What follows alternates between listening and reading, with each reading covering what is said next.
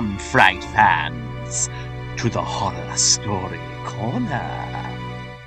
Where tonight's fiendish fable is penned by J.D. Beresford. It's a short and sweet scare about two men. One older and wiser about the dark ways of the world, and the other full of youth and courage, or is it recklessness?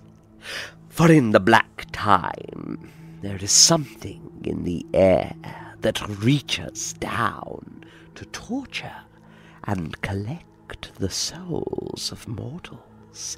And if our protagonists are not careful, these unseen demons may just claim theirs as well. I hope you enjoy Powers of the Air. I foresaw the danger that threatened him. He was so ignorant, and his sight had been almost destroyed in the city streets. A trustful ignorance is the beginning of wisdom, but these townspeople are conceited with their foolish book learning, and reading darkens the eyes of the mind. I began to warn him in early October, when the gales roar far up in the sky. They are harmless then. They tear at the ricks and the slate roofs, and waste themselves in stripping the trees. But we are safe until the darkness comes. I took him to the crown of the stubble land and turned him with his back to the dark thread of the sea. I pointed to the rooks tumbling about the sky like scattered leaves that sported in a mounting wind. We are past the turn, I said. The black time is coming. He stood, thoughtlessly watching the ecstatic rooks. Is it some game they play? he asked. I shook my head. They belong to the darkness, I told him. He looked at me in that slightly forbearing way of his and said, Another of your superstitions. I was silent for a moment. I stared down at the texture of black fields ploughed for winter wheat, and thought of all the writing that lay before us under that wild October hill, all the clear signs that he could never be taught to read. Knowledge, I said. I was afraid for him, and I wished to save him. He had been penned in that little world of town like a caged gull. He had been blinded by staring at the boards of his coop. He smiled condescendingly. You are charmingly primitive still, he said. Do you worship the sun in secret, and make propitiatory offerings to the thunder? I sighed, knowing that if I would save him I must try to reach his mind by the ear, by the dull and clumsy means of language. That is the fetish of these townspeople. They have no wisdom, only a little recognition of those things that can be described in printed or spoken words. And I dreaded the effort of struggling with the infirmity of this obstinate, blind youth. I came out here to warn you, I began. Against what? he asked. The forces that have power in the black time. I said. Even now they are beginning to gather strength. In a month it will not be safe for you to go out on the cliffs after sunset. You may not believe me, but won't you accept my warning in good faith? He patronized me with his smile. What are these forces? He asked. That is the manner of these book folk. They always ask for names. If they can but label a thing in a word or in a volume of description, they are satisfied that they have achieved knowledge. They bandy these names of theirs as a talisman. Who knows? I replied. We have learnt their power. Call them what you will. You cannot change them by any baptism. Well, what do they do? he said, still tolerant. Have you ever seen them? he added, as if he would trick me. I had, but how could I describe them to him? Can one explain the colours of autumn to a man born blind? Or is there any language which will set out the play of a breaker among the rocks? How then could I talk to him of that which I had known only in the fear of my soul? Have you ever seen the wind? I said. He laughed. Well then, tell me your evidence, he replied. I searched my mind for something that he might regard as evidence. Men, I said, used to believe that the little birds, the finches, and the tits, rushed blindly at the lantern of the lighthouses, and dashed themselves to death, as a moth will dash itself into the candle. But now they know that the birds only seek a refuge near the light, and that they will rest till dawn on the perches that are built for them. Quite true, he agreed. And what then? The little birds are prey to the powers of the air when the darkness comes, I said. And their only chance of life is to come within the beam of the protecting light. And when they could find no place to rest, they hovered and fluttered until they were weak with the ache of flight, and fell a little into the darkness. Then, in panic and despair, they fled back and overshot their mark. But gulls, he began. A few, I interrupted him. A few, although they also belong to the wild and the darkness. They fall in chasing the little birds who, like us, are a quarry. A pretty fable, he said. But I saw that the shadow of a doubt had fallen across him, and when he asked me another question, I would not reply. I took him to the door at ten o'clock that night, and made him listen to the revels in the upper air. Below it was almost still and very dark, for the moon was near the new, and the clouds were travelling north in diligent masses that would presently bring rain. Do you hear them? I asked. He shivered slightly, and pretended that the air was cold. As the nights drew in, I began to hope that he had taken my warning to heart. He did not speak of it, but he took his walks while the sun edged across its brief arc of the sky. I took comfort in the thought that some dim sense of vision was still left to him, and one afternoon, when the black time was almost come, I walked with him on the cliffs. I meant then to test him, to discover if, indeed, some feeble remnant of sight was yet his. The wind had hidden itself that day, but I knew that it lurked in the grey depths that hung on the sea's horizon. Its outrunners streaked the falling blue of the sky with driven spirits of white cloud, and the long swell of the rising sea cried out with fear as it fled, breaking to its death. I said no word to him, then, of the coming peril. We walked to the cliff's edge, and watched the thousand runnels of foam that laced the blackness of Trescore Rock with milk white threads, as those driven rollers cast themselves against the land and burst moon high in their last despair. We saw the darkness creeping towards us, out of the far distance, and then we turned from the sea, and we saw how the coming shadow was already quenching the hills. All the earth was hardening itself to await the night. God, what a lonely place, he said.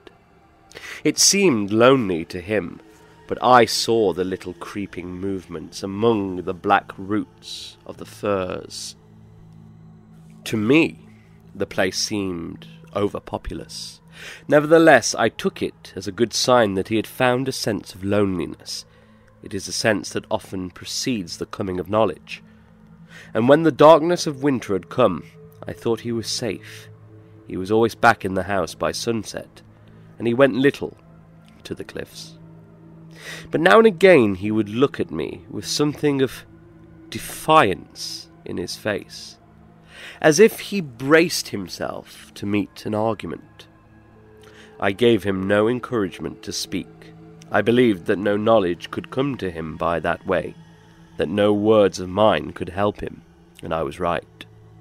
But he forced speech upon me. He faced me one afternoon in the depths of black time. He was stiffened to oppose me. It's absurd, he said, to pretend a kind of superior wisdom. If you can't give me some reason for this superstition of yours, I must go out and test it for myself. I knew my own feebleness, and I tried to prevaricate by saying, I gave you reasons. They will all bear at least two explanations, he said. At least wait, I pleaded. You are so young.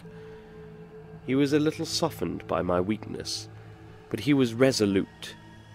He meant to teach me, to prove that he was right. He lifted his head proudly and smiled. Youth is the age of courage and experiment, he boasted. Of recklessness and curiosity was my amendment.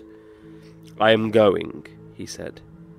You will never come back, I warned him. But if I do come back, he said, will you admit that I am right? I would not accept so foolish a challenge. Some escape, I said. I will go every night until you are convinced, he returned. Before the winter is over, you shall come with me. I will cure you of your fear. I was angry then, and I turned my back upon him. I heard him go out, and made no effort to hinder him. I sat and brooded and consoled myself with the thought that he would surely return at dusk. I waited until sunset, and he had not come back. I went to the window and saw that a dying yellow still shone feebly in the west, and I watched it as I have watched the last flicker of a lantern when a friend makes his way home across the hill. Already the horrified clouds were leaping up in terror from the edge of the sea, coming with outflung arms that sprawled across the hollow sky. I went into the hall and found my hat, and then stood there in the twilight listening for the sound of a footstep. I could not believe that he would stay on the cliff after the darkness had come. I hesitated and listened while the shadows crept together in the corners of the hall. He had taunted me with my cowardice, and I knew that I must go and seek him but before I opened the door, I waited again and strained my ears so eagerly for the click and shriek of the gate that I created the sound in my own mind. And yet, as I heard it, I knew it for a phantasm. At last I went out suddenly and fiercely. A gust of wind shook me before I had reached the gate, and the air was full of intimidating sound. I heard the cry of the driven clouds, and the awful shout of the pursuers mingled with the clamouring and thudding of the endless companies that hurried across the width of heaven. I dared not look up. I clutched my head with my arms and ran stumbling to the foot of the path that climbs to the height of the undefended cliff. I tried to call him, but my voice was caught in the rout of air. My shout was torn from me and dispersed among the atoms of scuttling foam that hurtled a moment among the rocks before they leaped to dissolution. I stooped to the lee of the singing firs. I dared go no farther. Beyond was all the riot, where the mad sport took strange shapes of soaring whirlpools, and sudden droughts, and wonderful calms that suckingly entice the unknowing to the cliff's edge. I knew that it would be useless to seek him now. The scream of the gale had mounted unendurably. He could not be still alive up there, in the midst of that reeling fury.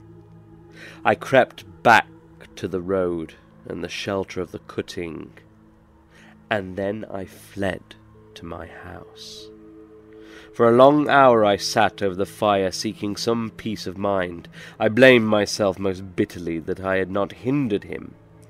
I might have given way, have pretended conviction, or at least some sympathy with his rash and foolish ignorance. But presently I found my consolation in the thought that his fate had always been inevitable. What availed any effort of mine against the unquestionable forces that had pronounced his doom?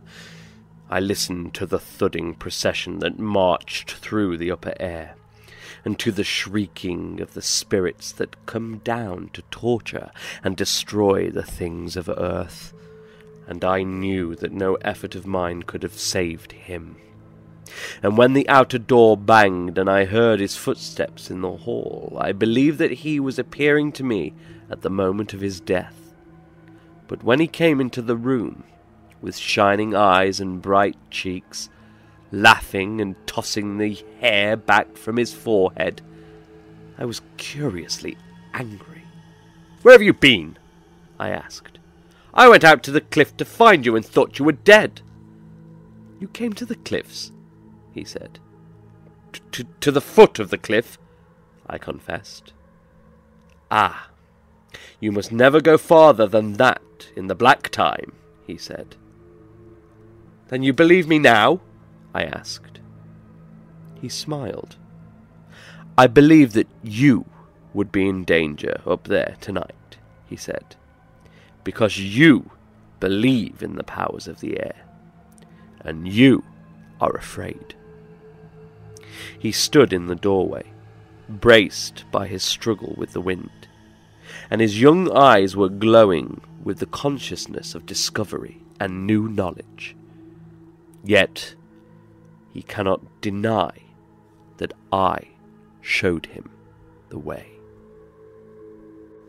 Well, looks like both a lucky escape and a newly born interest in the preternatural. Perhaps the young gentleman would care for a venture into the horror story corner, for we have wonders untold that wouldn't just set his eyes ablaze, but his very soul. Thank you for listening, and as ever, sleep well.